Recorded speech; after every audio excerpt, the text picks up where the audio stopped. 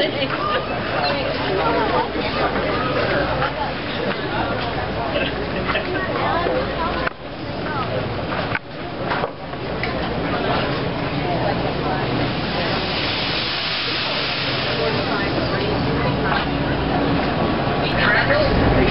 the top of Pikes Peak. We've been sending trains now up these very same tracks for over 121 years. Been keeping people safe along the way by following just three simple rules. So let me pass those rules by you right here at the beginning. Rule number one is to make sure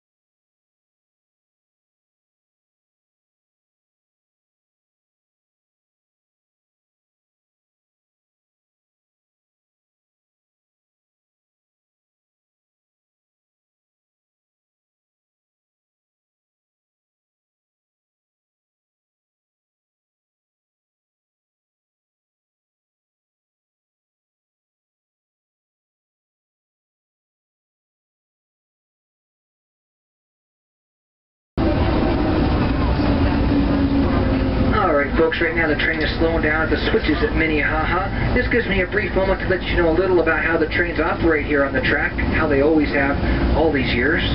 We have a single track that goes to the top of the mountain, but we have trains going up the track and down it at the same time, heading right for each other. But don't worry folks, we schedule them just right. So as the downbound train makes its way down, the upbound train will meet right at a switch, and we can pass each other safely this way, which is what we're doing right at the moment. I'm going to let you know later how you can help us to keep our trains on schedule, make sure we don't inconvenience people going up or down the mountain.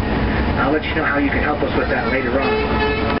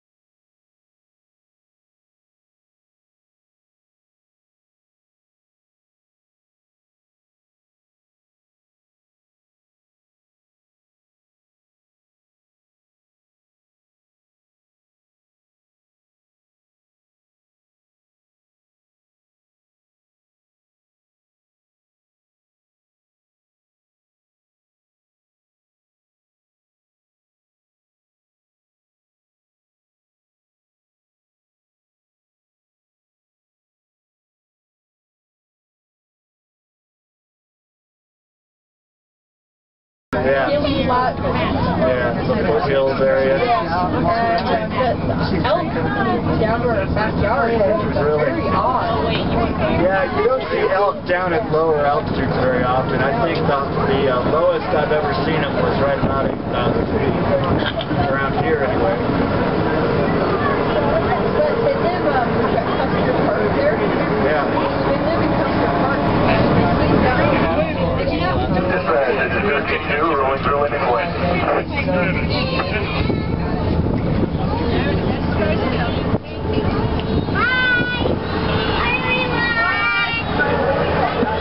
Alright us by, if you wouldn't mind going and finding your way back to your